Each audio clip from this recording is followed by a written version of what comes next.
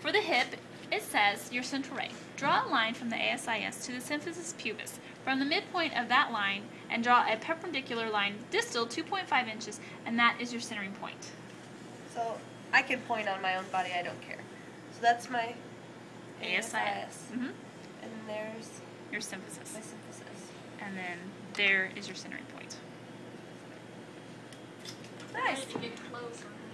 So here's what, here's how I, I do it. I take my thumb of my left hand because I can't do it this way. So the thumb of my left hand if I'm x-raying the right hip. The thumb of my right hand if I'm x-raying the left hip. Okay? My thumb goes on the ASIS. My third digit will go down towards the symphysis. I don't actually touch, but it goes down towards the symphysis. I extend out my second digit as much as I can, and that is my centering point. So if you actually draw the line from the ASIS to the symphysis, and then you draw a midpoint, 2.5 inches, that's really it. So from here. Uh, ASIS, symphysis, there's your centering point. Wow. That's just fancy.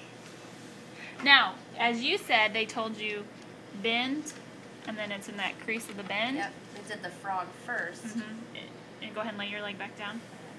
See, it was still at her bend. Yep. That's how they went. And when they went up to do this and then out, and you can right at the bend, Mhm. right there. And then he would just like hold, be like, all right, now she. They would leave it like that, and then when we came back in, we just it was right there. So Yeah. Some people do. Some people do the whole bending of the leg. Honestly, I find the ASIS is symphysis, and that's that's what I do when I when I position for the hip. Well, sometimes even that's really hard to tell. Like, Usually, you can feel the ASIS. this sticks out. Yeah, it does. It sticks out.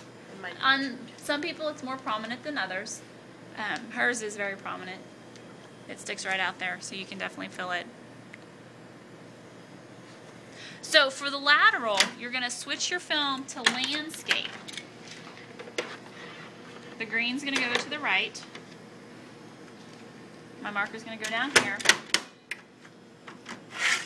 It's actually called a, you'll hear it as a frog leg, or we call it our lateral hip. But you're going to just have the patient draw their knee up and let it fall out approximately 40 degrees. So it's just going to come out about 40 degrees. And your centering point is going to be to the femoral neck. I do the same thing. I find the ASIS, the symphysis, and then I'm going to move her down just a little bit. And there's your lateral frog, whatever you want to call it. True terminology is modified Cleaves. That's what it says, modified Cleaves.